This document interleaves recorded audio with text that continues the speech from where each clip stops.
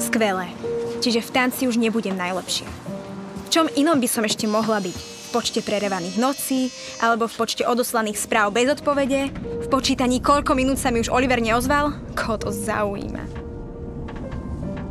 Ido, prepáč. Kebyže viem, že plačeš, tak si dám rukavice. Prečo netrenuješ?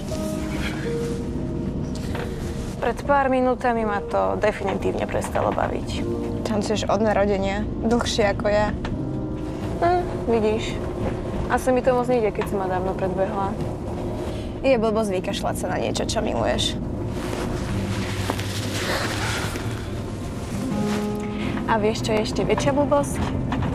Myslieť si, že mi môžeš rozkazovať, čo mám robiť.